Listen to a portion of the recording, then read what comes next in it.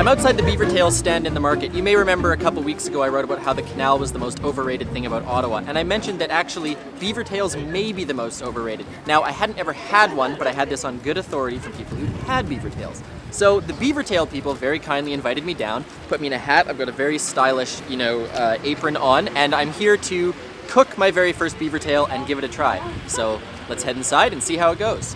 We want you to make a beaver tail, put whatever you want on it, try it, and tell us how you feel about it. You go around the edges a little bit to soften it up, and then you're going to, uh, kind of a simultaneous motion, pulling it and stretching it. Stretch it. Perfect. Now safety first, when you put it into the fryer, make sure you put it away from yourself. Yeah. Perfect. So how many beaver tails do you make in one day?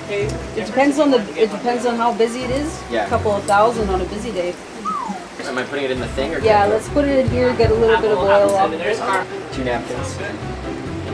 I'm gonna butter it first. Yeah, yeah, pick it up with the napkins. Oh, pick up the beaver tail with the napkins. Oh. I'm picking up my beaver tail That's right, just and I just it- drop it in there. Yep, Not too shabby. not too shabby at all. You're gonna squeeze it on for a little bit of extra flavor. All right.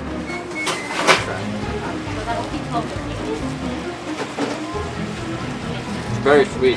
So I've just finished my very first beaver tail, and I have to say it's not too bad. I couldn't eat the whole thing, had a couple bites. It was cinnamon and butter with some lemon on top, and sure it tasted nice, but I'm not a huge sweets person, so it doesn't quite do it for me. If it, if you are a sweets person, on the other hand, would highly recommend a beaver tail down here in the Byward Market.